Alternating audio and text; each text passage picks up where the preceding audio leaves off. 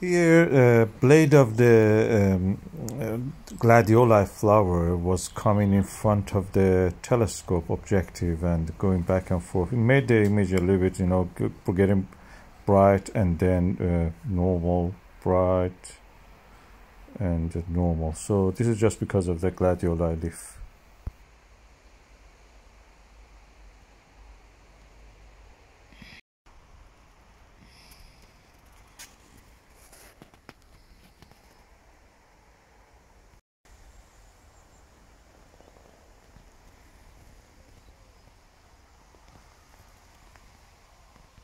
Uh, here I forgot to pull down the rubber eye guard so the field of view looks a bit narrower. But it gives you the view how it is anyway. Uh, the view the field of view is wide you know it takes all the screen. But because I didn't put the rubber eye guard down it just restricted on the left and right